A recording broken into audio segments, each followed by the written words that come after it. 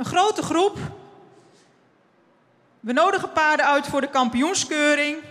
En dat gaan worden de eerste twee, 516 Boet en Arend. Gefeliciteerd.